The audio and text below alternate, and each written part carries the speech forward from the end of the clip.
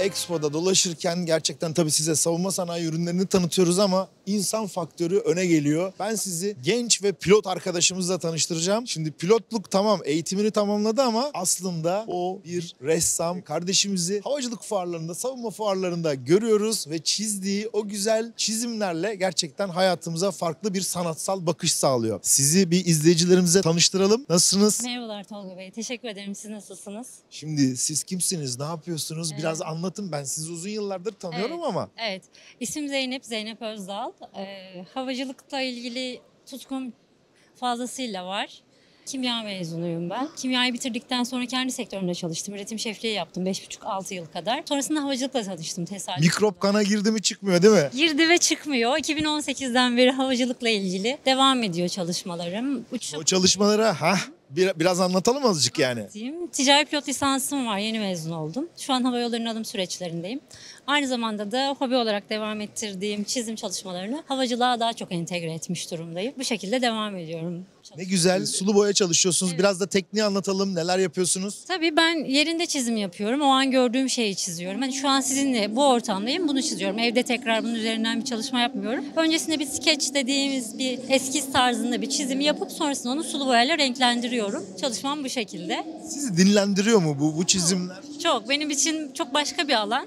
Yani havacılık bir tutku. Bu tutkumu daha da böyle tetikleyen, daha da böyle perçimleyen bir hobi olarak. Ama ben bunu daha böyle ileri noktalara taşımak istiyorum. Havacılık alanında e, bu şekilde çalışma yapan kimse yok Türkiye'de. Hani belki bu anlamda havacılık fotoğrafçıları var. Ben de sektörde havacılık çizimcisi diye biliniyorum. Çizimci Zeynep diye biliniyorum. Şimdi mesela tamam ben çizemiyorum ama maket yapmaya çalışıyorum. Pek fazla vakit yok. Yaparken de Türk bayraklı bir uçak sivil veya askeri benim daha hoşuma gidiyor. Siz de böyle milli savunma ürünleri şimdi savunma sanayi fuarındayız. Keyif alıyor musunuz onları çizerken? Açıkçası benim e, milli olarak duygularım çok kabarıyor. E, evet pilot olarak sivil havacılığı tercih ettim. Yaşım el verseydi askeriye de devam edip vatana çok daha belki tabii ki bu da ayrı bir meslek. Çok kutsal bir meslek ancak vatani olarak görevlerimi daha fazla yapabileceğim bir alanda çalışmayı çok isterdim. Bu anlamda böyle vatanıma fayda sağlayabileceğim bir sektörde olmak. Yani şu an çizerken bile heyecanlanarak çiziyorum. E, hayatım boyunca devam ettirmek istiyorum. Ama bir yandan da uçacaksınız, bir yandan da çizeceksiniz. Tabii.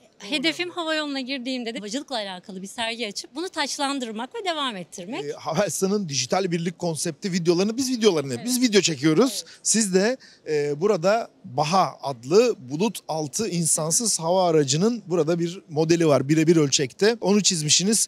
Bulut altı bizim biraz VFR gibi uçuyor. Görerek uçuyor. Küçük yerlerde taktik resmi yere iletiyor ve kumanda panelini çizmişsiniz. Piste gerek kalmadan. Tabii tabii. İs- İster dikey kalk. Bizim uçakları da öyle yapsalar ya. Piste olmadan şöyle bir dik helikopter gibi kalksak, istediğimiz yere hızlıca gitsek, sonra tekrar istediğimiz yere insek güzel olur. Size kolay gelsin. Biraz izleyelim bakalım çalışmalarınızı. Çalışmalarınıza başarılar diliyoruz. E, Ben böyle keyifle Instagram'dasınız. Onu ben böyle keyifle takip ediyorum. Tamam fotoğraf çok güzel ama çizmek de başka bir yemek. Ben çizemiyorum ama bakınca dinleniyorum. Çok teşekkürler. Kolay gelsin. Çok sağ olun. Teşekkür ederim Tolga abi. Size de iyi çalışmalar diliyorum. Çalış olun. Çekim çalışmalarınızı da. Savunma sanayideki gelişen haberleri de yakından takip ediyorsunuz. Bize aktarıyorsunuz. E, sektörde de değerli bir insansınız. Bunu da buradan tekrar ilet- iletmiş olayım. Çok teşekkürler. Sağ olun.